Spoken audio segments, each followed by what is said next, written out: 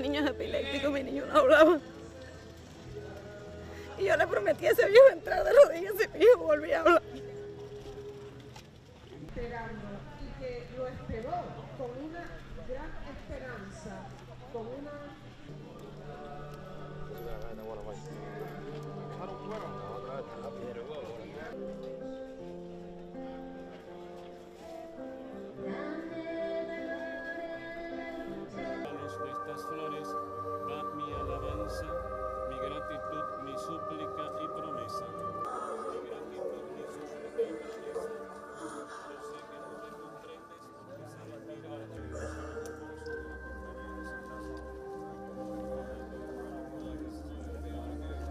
Estoy haciendo una promesa por mí, por mi familia, por el bienestar de mi hermano, de mi hermanito,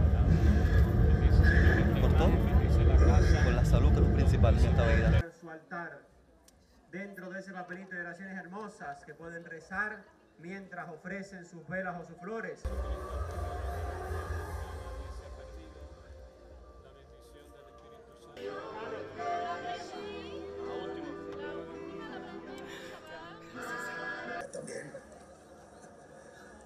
No debería permitirte rogar en mi.